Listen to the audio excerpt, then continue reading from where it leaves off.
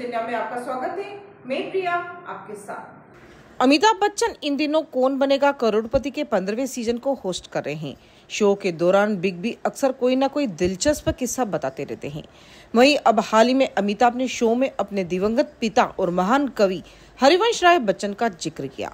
दरअसल शो के सोलवे एपिसोड में पठानकोट में रहने वाली अपूर्वा मल्होत्रा हार्ट सीट पर बैठी थी। इस दौरान उनके पास तीन हज़ार के लिए एक सवाल आया। सवाल था कौन से धर्म ग्रंथ में भगवान और योद्धा के बीच संवाद दिखाया गया है। सवाल का सही जवाब था भगवत गीता। कंटेस्टेंट के जवाब देने के बाद अमिताभ ने अपने पिता का ज़िक्र किया। उन्होंने कहा, मैं आपको बता दूँ कि मेरे बाबूजी ने भगवत गीता का अनुवाद किया है। उन्होंने इस धर्म ग्रंथ को अवधि में लिखा है, जिसमें तुलसीदास जी ने रामचरित मानस लिखी थी।